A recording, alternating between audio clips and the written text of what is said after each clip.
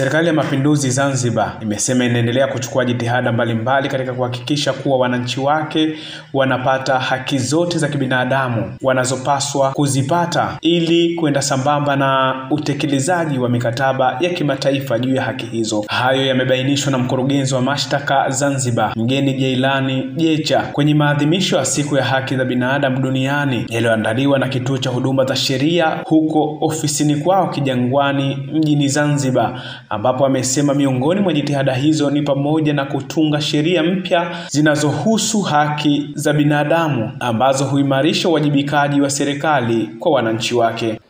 Miongoni mwa jitihada ambazo serikali inachukua ni pamoja na kurekebisha sheria zake nyingi pamoja na kutunga sheria nyingine mpya ili kuimarisha uwajibikaji wa serikali kwa wananchi.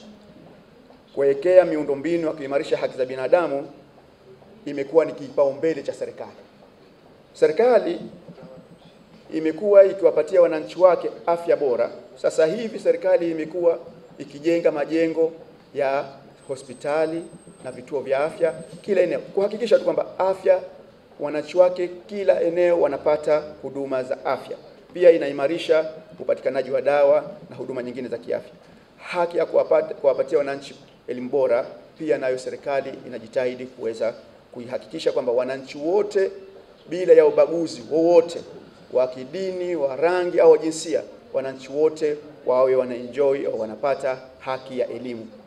Pia serikali uh, inanunua vifaa kwa ajili ya elimu na pia inajenga miundo mbinu ya maji kila pahala ili kuwarahisishia maisha wananchi wake waliopo vijijini na ambao na waliopo mijini ili maisha yao yahuike vizuri au waishi katika mazingira mazuri.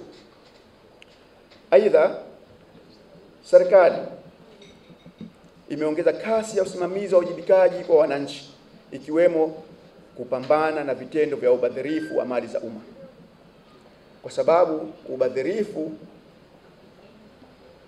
uh, wa mali za umma ni jambo ambalo linapelekea watu wengi au jamii kukosa haki za msingi za kikatiba. Kwa upande wake mkurugenzi wa kituo cha huduma za sheria Harusi Miraji Mpatani amesema licha ya mafanikio makubwa yaliyotokana na kituo hicho, lakini bado kitaendelea na utoaji msaada wa kisheria kwa wananchi wasiokuwa na uwezo ili kupatikana kwa haki zao za kibinadamu. Safari ya miaka thelathini haikuwa rahisi, hasa tukizingatia walioanzisha safari hiyo sasa hivi hawako, lakini niwathibitishie wananchi kwamba kituo kitaend kipo na kituo kitaendelea kuwepo kwa maslahi.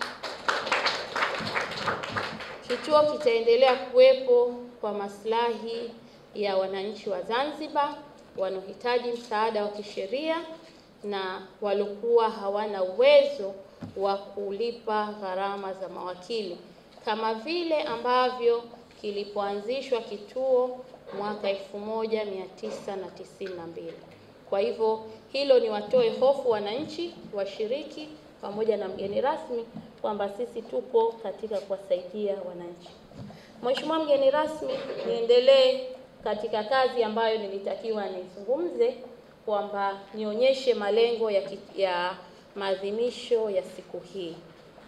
Uh, kituo cha huduma za sheria Zanzibar kama ni mdau wa haki za binadamu, nimesema awali kwamba tuna utamaduni wa kuadhimisha kila ifikapo tarehe kumi Disemba na kujadili masuala ya haki za binadamu. Mheshimiwa mgeni rasmi, katika mkutano huu tulikuweko toka jana, tulijadili masuala mbalimbali yanayohusiana na ukatili wa kijinsia katika kuadhimisha siku kumi na sita za, za utetezi wa siku kumi na sita za kupinga udhalilishaji.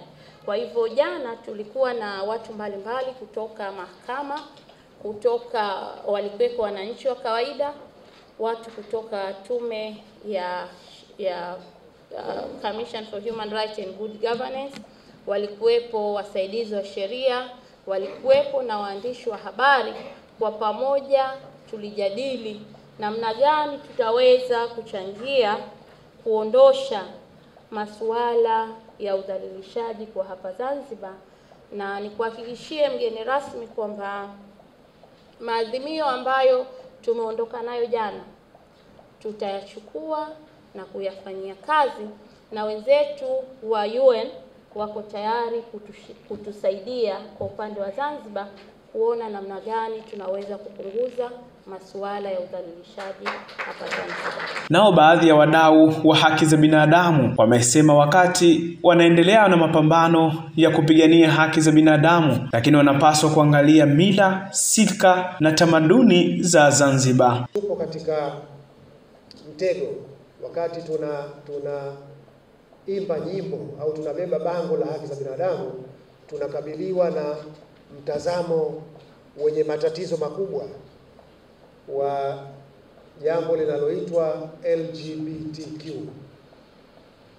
ambalo utetezi wa haki za binadamu unataka pia tu embrace tukumbatie jambo hilo eh, la kuunga mkono mambo ambayo kimsingi yanakwenda kinyume na maadili yetu, kuunga mkono mapenzi ya jinsia moja hiyo LGBTQ kitafsiri ina mambo mengi ndani yake, lakini yote yana focus katika eneo hilo. Sisi kama Zanzibar tuna maadili yetu. Mimi ni mwanasheria wa haki za binadamu, lakini kwa hilo mimi nasimama kulipinga. Majukumu yanayofanywa na asasi za kiraia ikiwemo Kituo cha Huduma za Sheria ni majukumu ya msingi sana, na sisi tunawaunga mkono na yanastahiki kutekelezwa kwa nguvu zote ili kuisaidia eh, serikali zetu zote mbili kufikia malengo tuliyojiwekea. Ustawi wa haki za binadamu ndiyo ustawi wa maendeleo ya nchi ya nchi yetu. Dunia huadhimisha siku ya haki za binadamu kile ifikapo Disemba kumi, ambapo kauli mbiu ya mwaka huu ni utu, uhuru na haki kwa wote. Ahmed Abdullah, Zenji TV Online. Katiba kusema kwamba kila mmoja ana haki sawa na shatosha, hakuna kunyambulia nyambulia nyambulia nyambulia. Haki hazina mwisho, hizi hatukuzitoa sisi, tumeumbwa nazo.